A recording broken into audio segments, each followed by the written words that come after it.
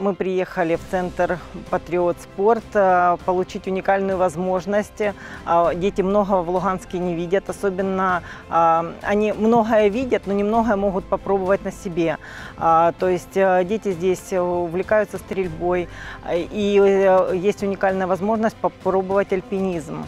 Так как у нас в Луганске это ограниченный вид спорта, который дети только могут попробовать единицы детей этот спорт, а здесь у них уникальная возможность спуститься с третьего этажа на э, хороших э, снаряжениях, и они получают от этого удовольствие.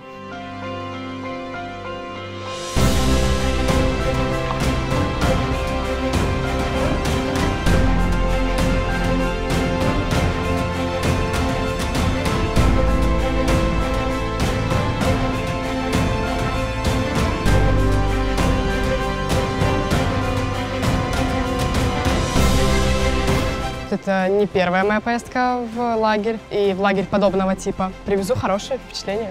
Запомнилась стрельба по биатлонным мишеням, бумажные мишени мы стреляем в тире подземном, по электронным мишеням. Играем в лазертаг, и нам обещают игру в пейнтбол.